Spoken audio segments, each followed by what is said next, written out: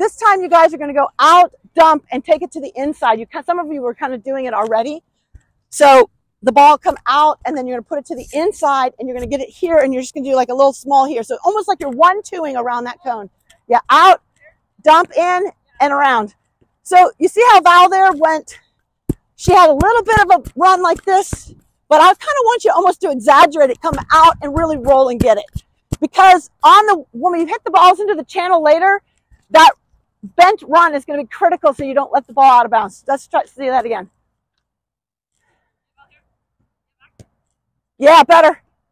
There we go. A nice end. Perfect.